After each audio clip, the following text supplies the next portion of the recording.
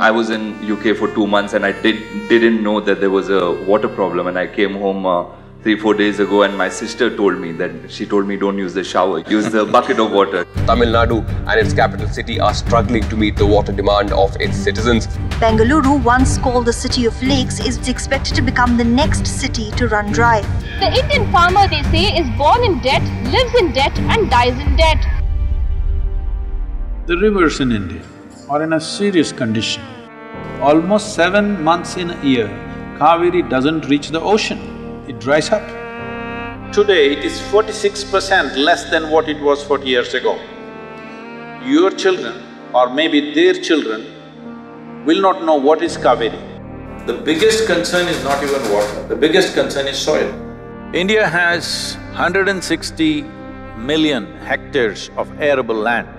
Of this, 104 million hectares of arable land is under distress, soil distress. This means this country is going to have serious problems about growing food in the next fifteen to twenty-five years. There is not enough organic content, means you can't hold water. Ninety-six percent of our rivers flow only with rainwater. If you have vegetation, our ability to hold the rainwater is enhanced.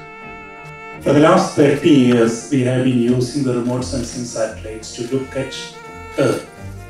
Why, on our lands we are not able to keep that water?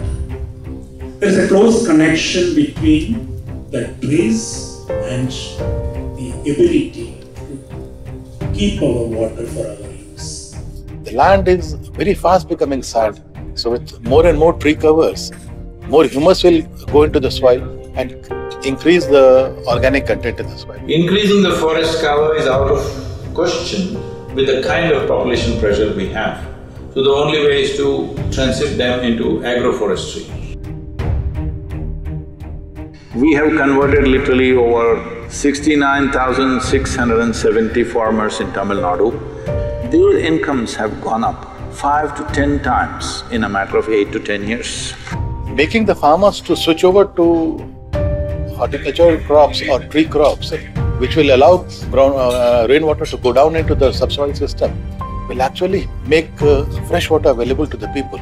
It could revitalize the entire farm level economy uh, and reduce significantly the kind of economic distress that today's the majority of uh, agricultural households are facing.